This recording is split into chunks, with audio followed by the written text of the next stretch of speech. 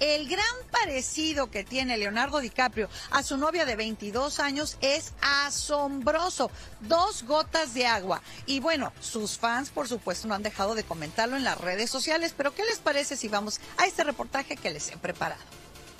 Leonardo DiCaprio y su vida amorosa son nuevamente tendencia raíz de la circulación de imágenes al lado de su joven novia Megan Roche, de 22 años por Ibiza, España, y se debe al escalofriante parecido que tiene Leonardo a su pareja. Esa gran similitud ha acaparado la atención mundial y para algunos resulta preocupante que cada vez son más jóvenes las candidatas a ser dueñas de su corazón. Buscamos a un psicólogo para que nos ponga en perspectiva esta preferencia. ¿Es común esto, doctor, que, alguien quiera o, sea, tratándose de un artista que una, que una persona quiera salir con alguien que es idéntico a, a, él? Hay un narcisismo eh, ahí bien marcado, ah, porque el, ser humano pelea por estar conforme con él mismo, ¿no? Hasta, hasta el día de su muerte. Siempre está buscando la conformidad con él mismo.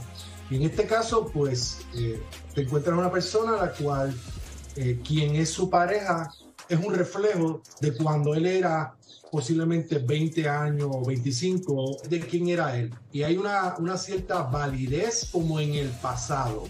Leonardo DiCaprio ha salido con las modelos más famosas, pero en esta ocasión aparenta ser que es el parecido de Megan Roche con él su mayor punto de atracción. Hay unas neuronas que se llaman espejos. A nivel inconsciente puede haber una necesidad dentro de esas neuronas de espejo que quieran reproducir la propia imagen en lo que ven.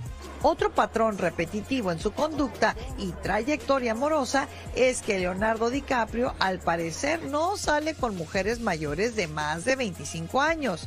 Así lo reportan las grandes revistas de farándula si en, la, en el caso de él, sus compañeras llegan a una cierta edad de, no sé, eh, eh, son siempre menores y, son, eh, son inconsistentes, las la mantiene, pero se mantienen dentro del mismo edad.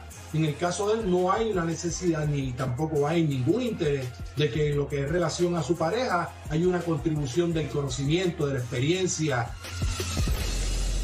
Y lo que es un hecho es que aunque Leonardo entre a una edad media, sigue siendo uno de los solteros más cotizados. Yo me despido desde Los Ángeles.